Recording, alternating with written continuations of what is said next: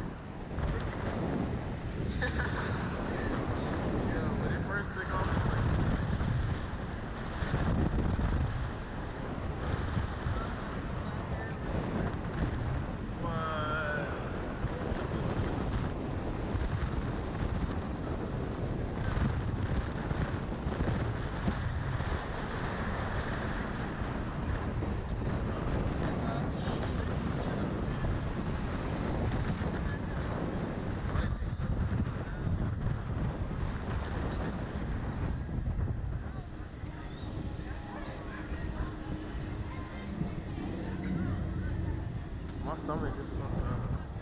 Still wanna ride the bumper? Hell yeah.